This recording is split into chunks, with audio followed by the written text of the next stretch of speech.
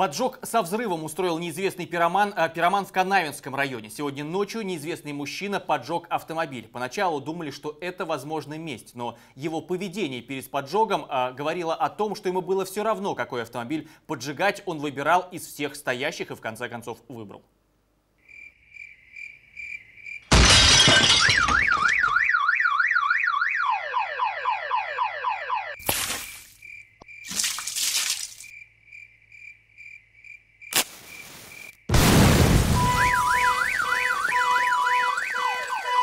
Взрыв такой был мощный. То, что дома аж все подскочило.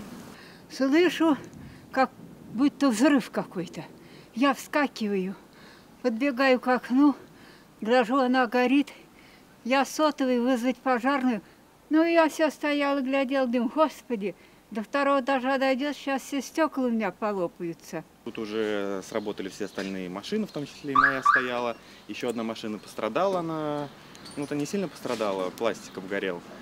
А, Естественно, все жители сбежались, начали убирать машины, отталкивать, э, вызывать э, спасательные службы, да, пожарные. Пьяный чувак был просто и, наверное, поджег все. Семья молодая, да, то есть пострадавшие а, молодой человек и его девушка. М, То есть как бы признаков, почему это могло произойти, они не конфликтные, а, вообще непонятно.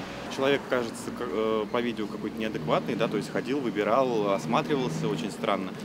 И, ну, по, видео он э, хромал, да, и, то есть очень долго готовился, то есть он даже как бы разбил стекло и стоял очень долго, то есть пока полил, да, то есть если бы это как-то был под заказ, мне кажется, да, то есть это произошло очень быстро.